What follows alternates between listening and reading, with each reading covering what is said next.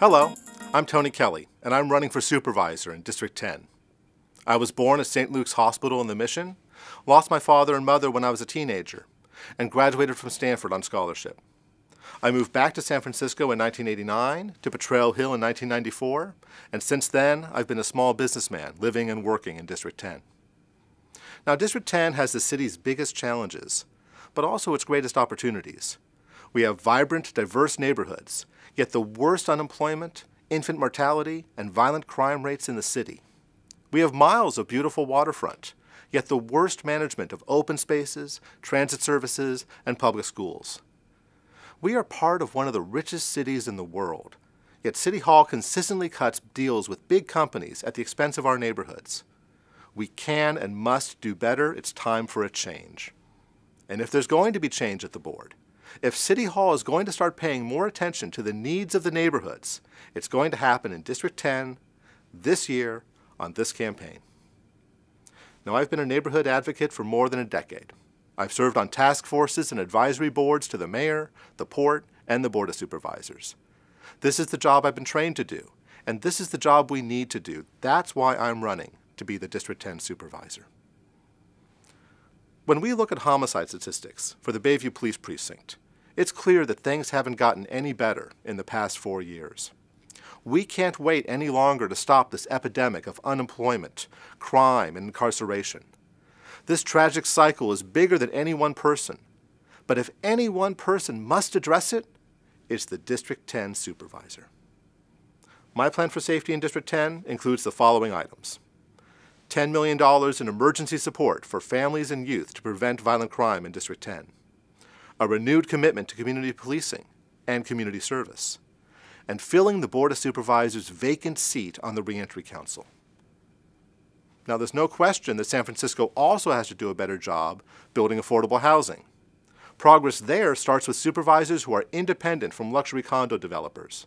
That's why I am not seeking or accepting any contributions from developers, big real estate interests, or Ellis Act evictors to my campaign.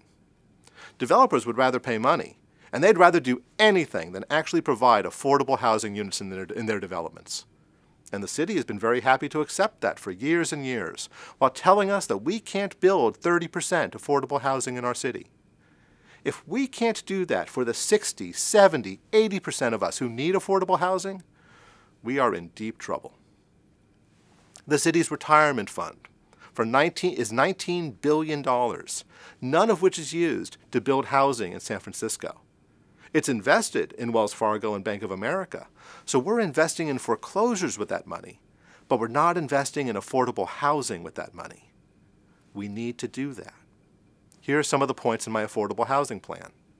A minimum of one-third affordable housing development on public land for low and moderate income households. Immediate construction at all Hope SF sites for the city's worst public housing. And low-interest loans for small businesses and families. I've also developed in-depth plans to address unemployment, the achievement gap in our schools, transit inequity, and public health threats in District 10's neighborhoods. As you may know, a child born today in the Bayview can expect to live about 14 years less than a child born on Russian Hill. Some candidates run for office to be something, and some run to do something. I'm running to do something. I'm not a trained career politician. I'm not trying to climb that ladder. I'm not going to photo opportunities or trying to decide which side of an issue is better for me. I've been a neighborhood advocate. That is my history, my values, and my commitment. That's why I'm committed to having office hours in the district every day of the year, no appointment necessary.